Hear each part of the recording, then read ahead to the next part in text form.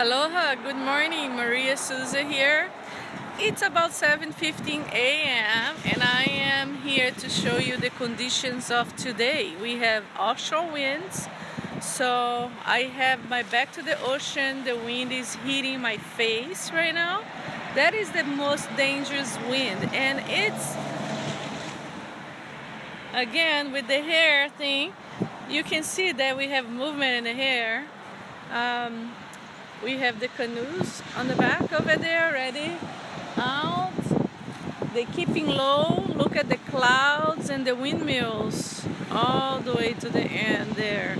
It's moving in a fast pace. So if I had the plan of teaching lessons today, SUP lessons, I would probably pick another day or another place, another location because it will be really hard to stay in one place here. The wind will take me into this direction, and that is Kaho'olawe, the island over there. I mean, what do I? Um, I don't want to go there really, but see the boats, directions of the boats, how they anchored over there.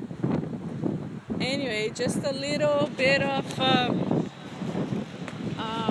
how to read the wind here for your next SUP um, fun time and keep it fun and safe. Aloha.